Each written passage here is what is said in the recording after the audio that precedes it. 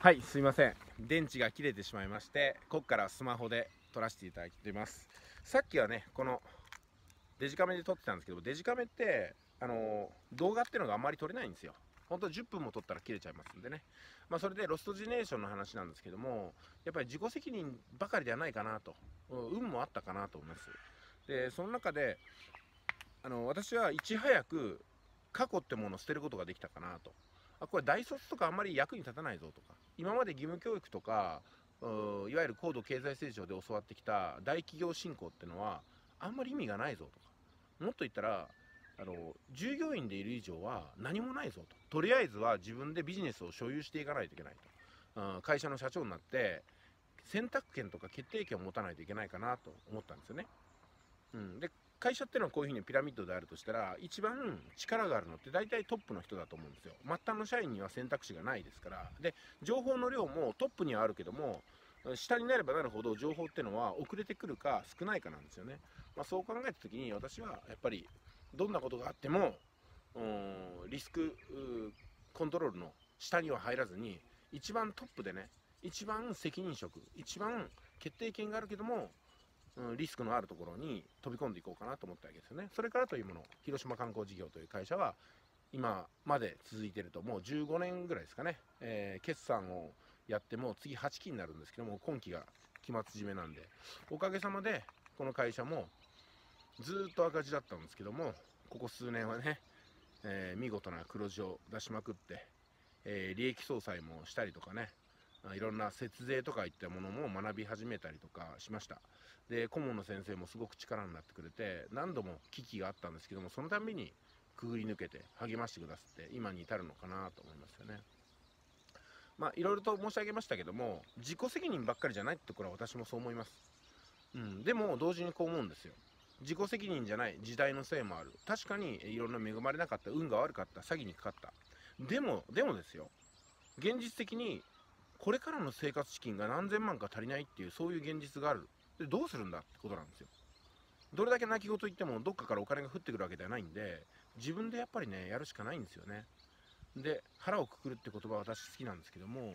自分でやる以上もうね誰にも相談しないと。誰にも泣き言を言わない。ただ気高く自分の人生を自分の思い通りにデザインしていく挑戦していく。うん、そしてダメかもしれないけどやってみる。この連続だったかなと思います、えー、私もねネットビジネスってものがあ2013年に私の目の前に入ってきた時に疑う気持ちが少しでもあったらいや正確に言ったら疑ってたんですよ。正確に言えば疑ってたんですけども疑いながらも100%その中にカリキュラムとしてあるものは全部やってやろうと思ったんですよね。やれば何かができると思ったんですよ。でやれば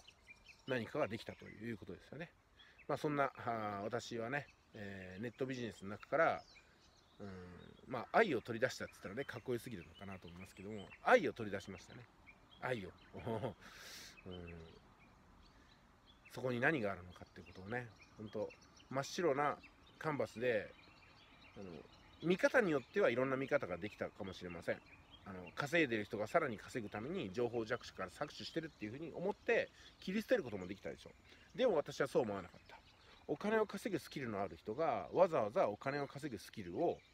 お金さえ払えば教えてくれるというね。そんな世界があるということに気がついてお金さえ払ったらお金稼ぐ方法を教えてくれるんだったら安く上がるなと思ったんですよね、うん、まあでも詐欺かもしれないと思ってましたよでもそれ以外の道は私なかった。やってみるしかなかったんですよ。でやってみたらこうなったということですよね、はい、よかったよかった。で多くの方はそのネットビジネスに対して詐欺っていうイメージをお持ちだと思いますけどもそれはですね2つ理由があります。1つは本当に詐欺をやってる人から買ってるからなんですよ。でもう1つは自分が使いこなしてないから結果的に儲からないことを人の責任にして詐欺っていう風にねなんか言ってるんだろうなと思います、うん、確かに自分のせいではないところ多いですよ。自分のせいではないところが多いですけどもだからどうするんだっていうね。何にも変わんないですから。自分のせいでないところまで面倒見てやるぐらいの気合があってももうね、いいんじゃないかなと、ロストジェネレーション世代、ロスジェネの逆襲ですよ。ほんとね、半沢直樹さんのドラマも続編が始まります。ロスジェネの逆襲。私も大いに逆襲してやろうかと思います。これからね、稼いで儲けて、それから使いまくって、もうね、流行ってない店から順番にお金どんどん突っ込んでいって、でそこの人と仲良くなってねで一緒に高め合っていきたいなと思います私は特に同じ世代を助けて助けるって言ったらね本当におこがましいんですけども役に立ちたいなと思う気持ちはすごく深くあります。私はたまたまたまたまですね1抜けたができたのかもしれませんけどもだからといって、うん、同世代の方があやっぱりね不運にも恵まれないところこれはねちょっと無視できないかなと。もちろんおせっかいするつもりはありませんので求められればっていうことですけどね。そういう意味で私はもう商品を販売して何かをやるってことじゃなくてでもう無料でも動いてくれる方のためにやっていきたいなという思いですね。無料でも動いてくれるんだったら。いや価格をつけるんだったらね去年もいや私やりましたけど1000円から3000円みたいな商品販売しましたね。自由に1000円から3000円の間で払ってくださいみたいなね。ただすごいんですよ。これちょっと最後のオチになりますけども。1000円から3000円ですっていうのに10万円振り込み方がね5人ぐらいいたんですよね、うん、だから私はね100万円ぐらいのパフォーマンスを出したかなと。思います。まあ100万円っていうか価格はつけられないですよ。私はその時に持ってる最大値でエントリーするわけですからね、うん、価格はつけられない。本当に。あの今私は分かんないですけど他の有料商材だって本当分かんないんですけどもどんな有料商材30万50万のよりもその10倍100倍のものを無償で提供できるぐらいのことはできるかなと思ってます。まあその一つがこの吉田さんとのリレーですよね。